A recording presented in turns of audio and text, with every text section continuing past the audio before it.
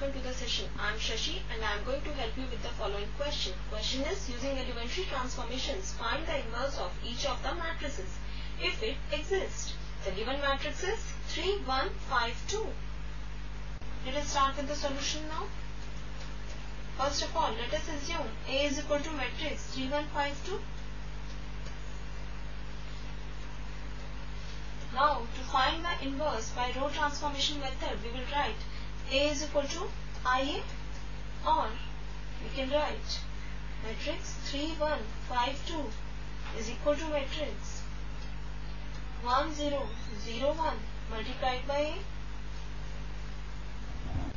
Now, we will apply sequence of row operations simultaneously on matrix A on left hand side and the matrix I on right hand side till we obtain identity matrix on the left hand side. To make this element equal to 1, we will apply on R1 row operation 1 upon 3 R1. So we can write applying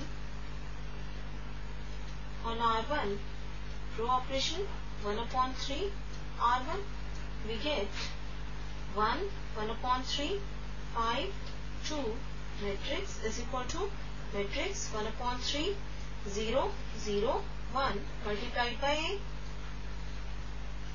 Now to make this element equal to 0 we will apply on R2 row operation R2 minus 5 R1. So we can write applying on R2 row operation R2 minus 5 R1 we get matrix 1 1 upon 3 0 1 upon 3 is equal to matrix 1 upon 3 0 minus 5 upon 3 1 multiplied by A. Now to make this diagonal element equal to 1 we will apply on R2 row operation 3 R2. So we can write applying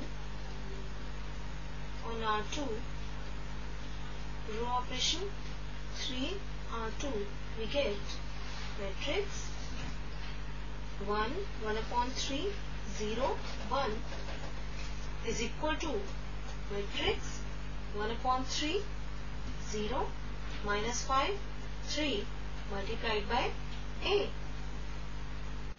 Now to make this element equal to 0 we will apply on R1 row operation R1 minus 1 upon 3 R2. So we can write applying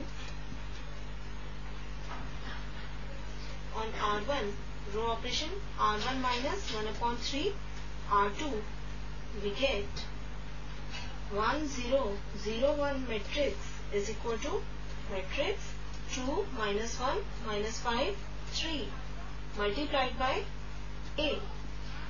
Also we can write I is equal to A inverse multiplied by A. Now clearly this is an identity matrix. Now comparing these two expressions we get A inverse is equal to this matrix. So we can write A inverse is equal to matrix 2 minus 1 minus 5 3.